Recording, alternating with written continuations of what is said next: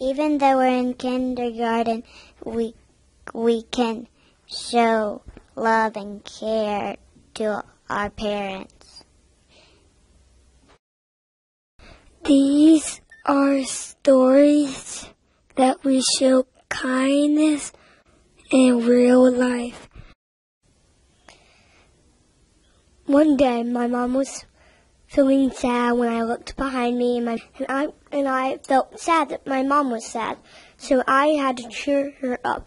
I asked her the things that she liked, and and, and then I recognized that the thing that she likes is mommy cuddle time. That's the thing that she likes. I I did that for her, and then she said thank you, and then I was just happy to help my mom and my but that was a thing that I like to do to help people sometimes to be nice.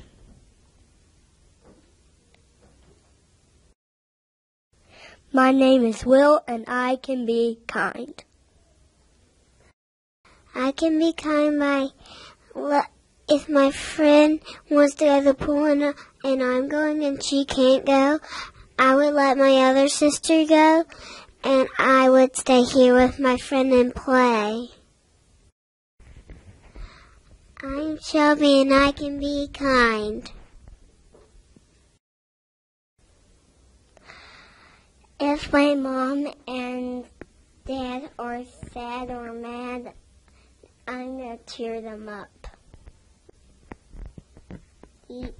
If my room is a big mess, I'm going to clean it up without my mom and dad seeing it and out without telling me. My name is Dean and I can be kind.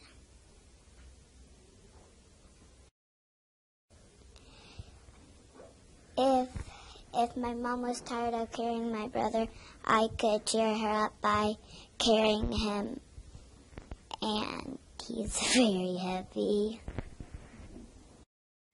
My name is Leah Jane and I can be kind. When my grandfather was sad, I, I cheered him up and I go to Windsor's Oyster House. My name is Colin and I can be kind. One day at school, I was running around at PE and I saw this little girl that was hurt and I tried my best to get Coach Burns to um undo it, but I helped my best. And I had a choice to help and I did.